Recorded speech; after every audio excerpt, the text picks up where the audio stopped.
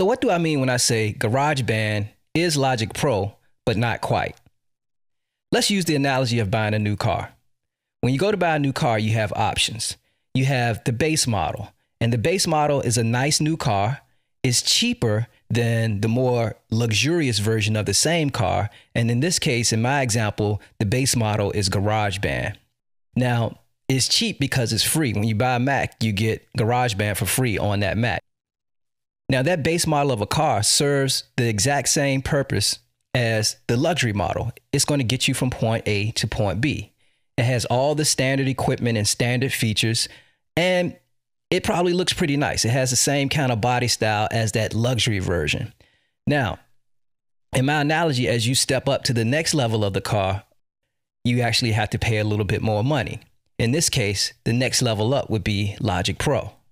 In this example, or in my analogy, when you purchase Logic Pro, you spend another $199 at the App Store, and now you have a new, more feature rich version of the base model car.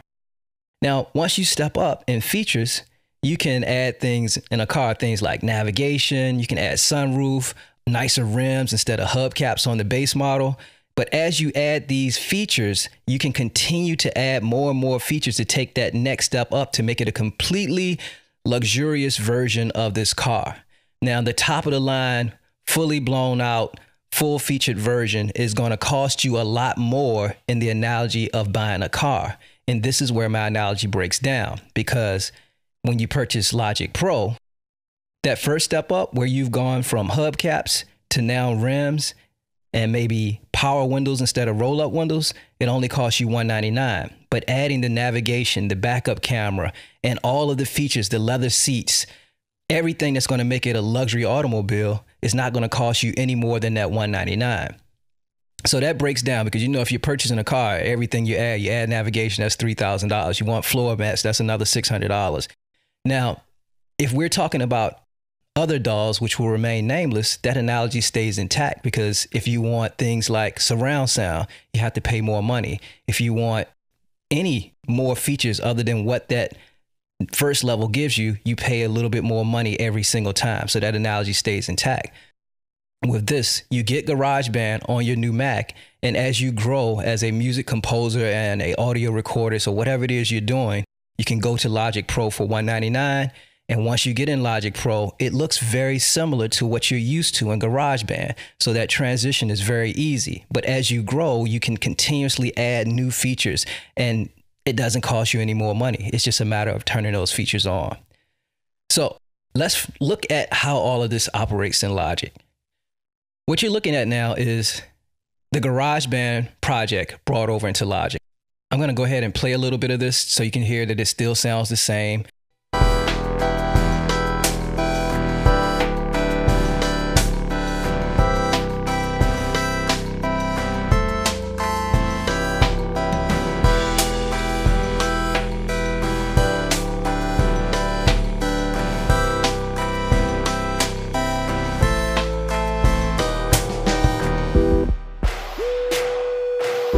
So you can hear the same instruments, the same sounds. Everything came over from my GarageBand project. I'm going to switch back into GarageBand really quickly here. And this is the GarageBand project. So the interface that you're looking at almost looks identical to what you're used to in GarageBand. So now we're back in Logic. Let me first slow down a little bit and kind of talk to you about what's happened here. In Logic's default configuration, it is created so that you can make a very comfortable transition from your GarageBand projects into Logic Pro. Speaking frankly, a lot of the uh, trainers like myself, when we first saw Logic 10 and we saw these wooden panels on the left and the right hand side, there was kind of a panic that happened because we thought that Apple had basically turned Logic into GarageBand, which they kind of did. But it's so cool because you have this. If you go to Logic Pro X and you go to preferences and go to advanced tools, by just opening this project in Logic, you've moved from that base car into a upgraded version with more features. But this is the window where you can add in navigation. You can add in a sunroof. You can put leather seats in, wood grain. You know what I mean? You can add all the new features you want by clicking these buttons here. See, it says show advanced tools. Now, this course is just about opening a GarageBand project in Logic without ever adding any of these additional features, without adding the navigation or the leather seats or any of that type of stuff. It's just how much more power you have by just opening that GarageBand project in Logic in the default configuration, which is what you see here. But if I clicked Show Advanced Tools, then you will see the wooden panels went away first, and you see all of these additional options audio options, surround options, MIDI options, control surface options, score options, advanced editing options. All of that stuff is just way too much to cover in a fast track course. So I'm just going to concentrate on if you bring your project into Logic in the default configuration without any of the advanced tools. So we're not going luxury Logic yet. We're just staying here in the base upgrade we're going to look at the differences from that perspective.